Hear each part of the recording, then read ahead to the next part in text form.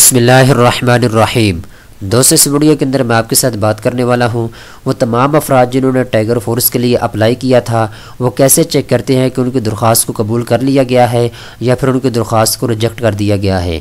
دوست تفصیل میں جانے سے پہلے ایک دو باتیں آپ سے شیئر کرتا چلوں، کیونکہ ان باتوں کا تعلق جو ہے وہ آپ کی درخواست کے ساتھ ہے۔ دوستوں آپ کو معلوم ہوگا، میں نے آپ کو مکمل طریقہ بتایا تھا کہ آپ نے ٹائیگر فورس کے لیے کیسے اپلائی کرنا ہے۔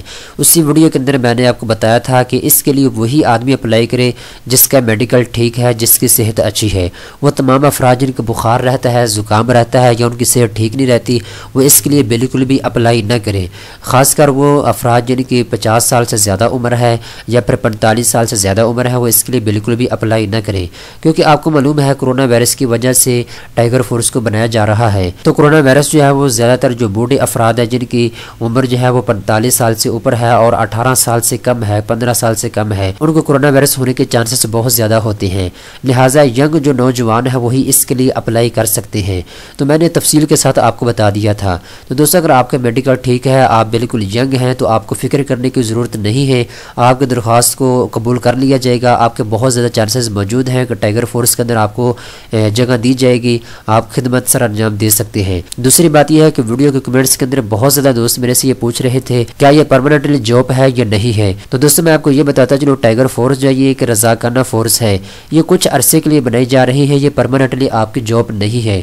یہ دو مہینے کے لیے یا تین مہینے کے لیے کام کرے گی اور اس کے بعد اس کو ختم بھی کیا جا سکتا ہے اور ہو سکتا ہے کہ اس کو مختلف شعبوں میں لے لیا جائے۔ لیکن فی الحال اس کے بارے میں جو معلومات ہے وہ یہی ہے کہ یہ کچھ عرصے کے لیے ٹائیگر فورس بنائی جا رہی ہے۔ تیسری بات دوستو، بار بار یہی پوچھی جا رہی تھی کہ اس میں ہماری تنخواہ کتنے تک ہوگی۔ دوستوں میں آپ کو بتاتا چلو ٹائیگر فورس میں جتنے بھی لوگ اپلائی کر رہے ہیں، ان تمام کے تمام افراد کو، ان کے اضلاع کے اندر ان کی ڈیوٹی لگائی جائے گی۔ تو ایسا ہے کہ آپ کو دن کو کام کرنا ہوگا اور رات کو آپ اپنے گھر چلے جائے کریں گے۔ تو اس کے لیے آپ کو ایک مخصوص وظیفہ دیا جائے گا۔ اس میں یہ نہیں کہا جا سکتا کہ اس آدمی نے بی اے کیا ہوا ہے ایف اے کیا ہوا ہے۔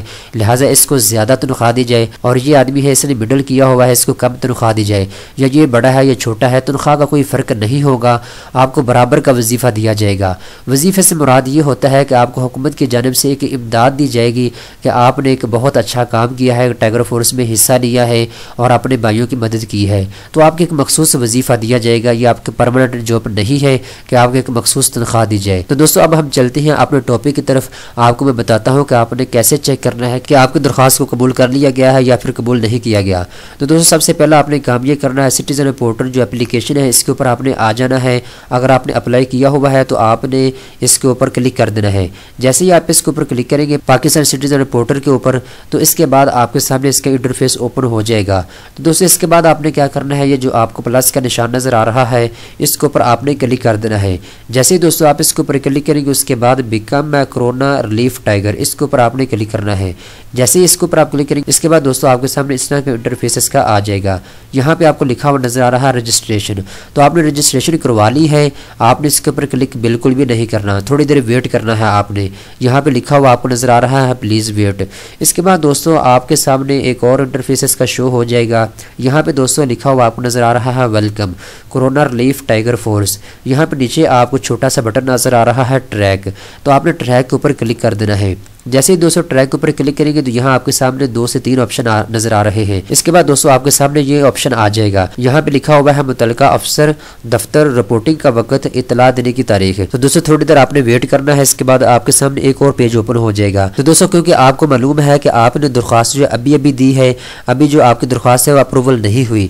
جیسے ہی اپروول ہو جائے گی تو آپ کو یہاں پہ نظر آ جائے گی۔ کیونکہ آپ نے ابھی درخواست دی ہے، آپ کی درخواست کو چیک کیا جا رہا ہے، آپ کو کہاں پہ بھیجنا ہے، کہاں پہ آپ کو رکھنا ہے، کیا طریقہ کار ہے، اس کو چیک کیا جا رہا ہے۔